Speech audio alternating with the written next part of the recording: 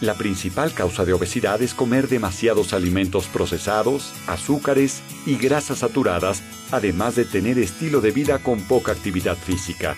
Pero existen otros factores que provocan la acumulación de grasa. La falta de sueño altera las hormonas responsables de provocar hambre, haciendo que el apetito incremente y se ingieran más alimentos de los que el cuerpo necesita. El estrés es otro factor importante, ya que el organismo libera una hormona que incrementa los niveles de glucosa en sangre para que las células puedan obtener energía de ella en situaciones de emergencia. Si el estrés se vuelve frecuente, se libera demasiada glucosa al torrente sanguíneo, y si las actividades del cuerpo no requieren tanta energía, esta se acumula en forma de grasa sobre todo en el área abdominal. Además de los hábitos alimenticios, es importante poner atención a estos aspectos de la vida cotidiana.